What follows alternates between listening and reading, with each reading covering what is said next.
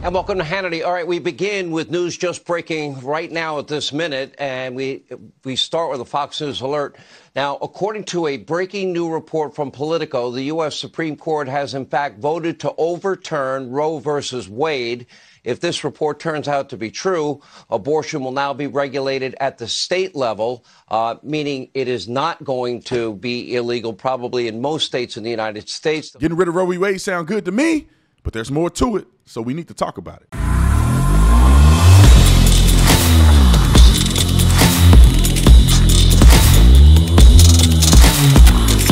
This video is brought to you by The Officer Tatum Store. The Officer Tatum Store. Get the merch link in the description section. Y'all already know what to do. So let's get into this. Ladies and gentlemen, gentlemen and ladies, this is a crazy uh, situation and development that's happening. I want to say some facts right off the bat so you don't you're not confused and you're walking around here spreading disinformation. This is not official. The Supreme Court justice haven't officially struck down uh, uh, Roe v. Wade and, and, and abolished Roe v. Wade on the federal level, uh, giving the decision making back to the states. It's not official. Now, this was leaked. Now, I would argue it was probably leaked by a Democrat in the Supreme Court in their office so that they can have enough outrage to, to I think, intimidate the Supreme Court justices in order for them to make a decision favorable to Roe v. Wade.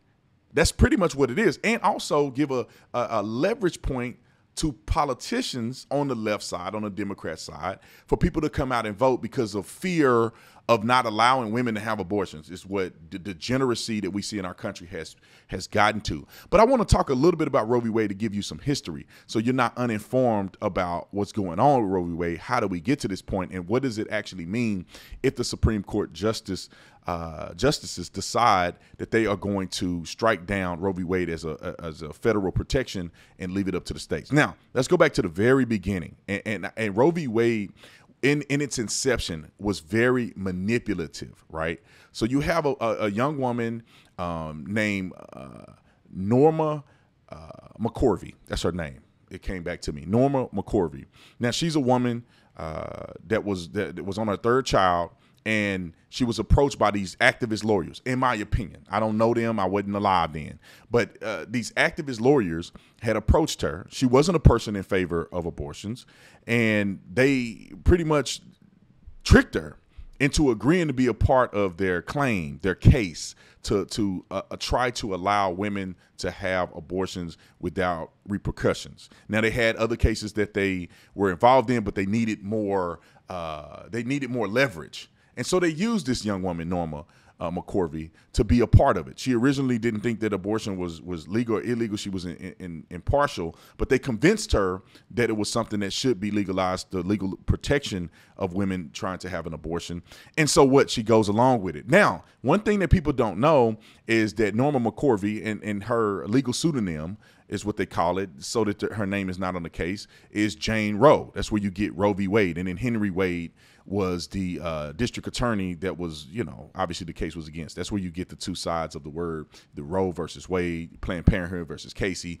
Um, this is the way the court documents uh, work, and this is how they associate the people together. So, uh, that, uh, Miss Roe, uh, Norma McCorvey, ended up having a child and giving her child up for adoption in the state of Texas. After that, uh, these these activist attorneys had some options to bolster their case, and they took it to the Supreme Court. They actually took it to the district court in Texas, and then they appealed it to the Supreme Court. Now, uh, they believed that they had favorable options uh, uh, in the court system, and they use that and leverage that to their benefit. And this is why people are saying that Roe v. Wade was was political activism.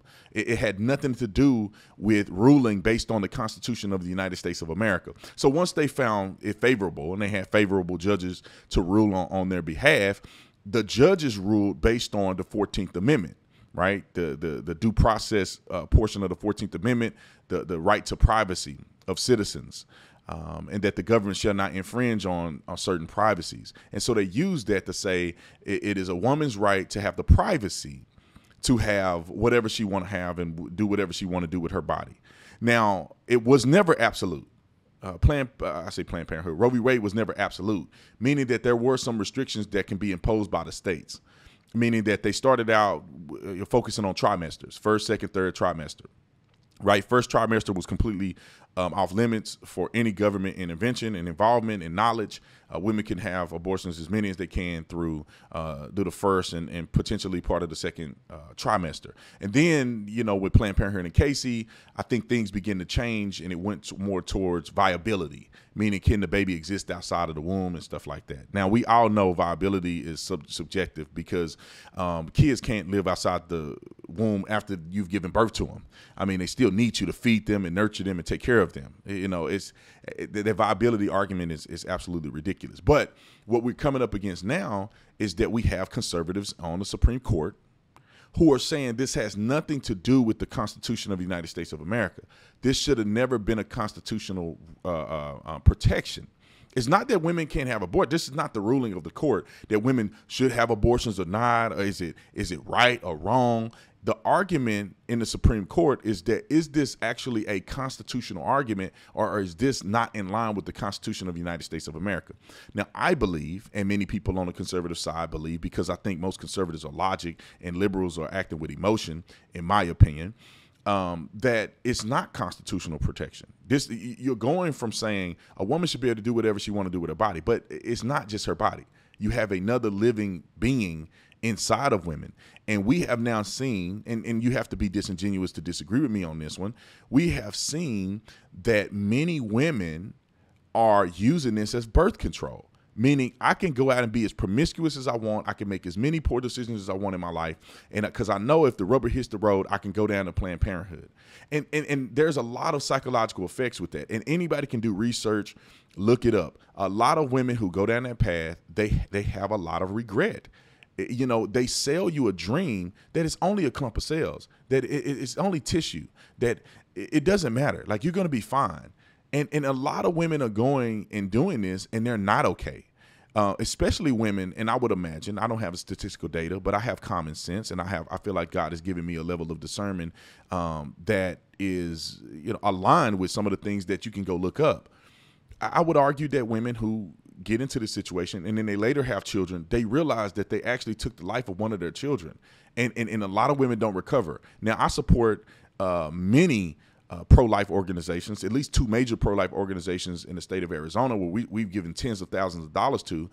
Um, but, you know, they share these stories. I've been to listening to testimonies and at banquets where these women are coming up and saying, "Look, I had one and I regret it for life, and I almost had one, and I'm thank God that I didn't, but I, I was coerced, I was manipulated, I was uh, ill-informed when making that decision." And so I think it's invaluable for us as a society to be fair and balanced about this. Like you have birth control, you have all of these other measures, you have abstinence, all these other measures. And I don't want to care if somebody said, well, it's, it's a different time in the world. Well, you got to make a decision about your own life. Do you want to have children out of wedlock or do you not? And if you if you don't, then there's a hundred percent chance that you won't have a child if you are not involved in, in sexual activity. But I think as a society, we should have a, a balanced argument on this. This is not an argument of, oh, we want to disenfranchise women. To be honest, in many of these states, abortion is going to have the same, it's going to be the same.